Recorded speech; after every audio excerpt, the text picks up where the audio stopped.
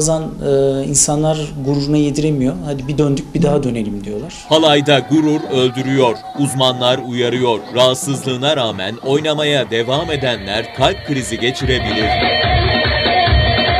Bazen gençlerle de bu e, yarışa girebiliyorlar. Mersin'de bir yakınının düğününe katılan Mardinli Fettah Çağır'dan halay çektiği sırada aniden böyle yere yığıldı. 10 çocuk babası Çağır'dan kaldırıldığı hastanede hayatını kaybetti.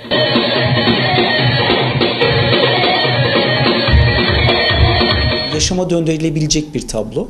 E, ama bilmediğinizde uygun müdahale koşulları yoksa hastayı kaybettiğimiz dramatik durumlara yol açabiliyor. Kardiyoloji uzmanı Doktor Ciğerhun Polat bu tür ölümlerin ani olmadığını söyledi. Belirtiler görmezden geliniyor dedi. Böyle anlarda aşırı efor, aşırı heyecanla birlikte e, kalp zorlanıyor. E, bu zorlanma anında e, önemli bir ritim bozukluğuna giriyor. E, bu öldürücü ritim bozukluğuyla beraber e, bizim ani kardiyak ölüm dediğimiz e, bu tablo gelişiyor.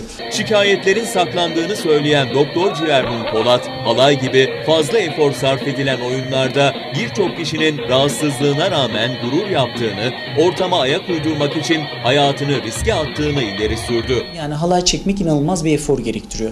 Bazen e, insanlar gururuna yediremiyor. Hadi bir döndük bir daha dönelim diyorlar. Bazen gençlerle de bu e, yarışa girebiliyorlar. E, aslında kendi kapasitelerinin çok üzerinde bir efor sarf etmiş oluyorlar. Doğru müdahalenin önemine dikkat çeken kardiyoloji uzmanı Doktor Ciğerhun Polat, bu tür ölümlerin önüne geçmek için kişinin şikayetini saklamak yerine hastaneye gitmesi gerektiğini söyledi. Aslında kendini iyi tanıyan, e, iyi e, bilen insanların çok da başına gelmesini beklemeyiz.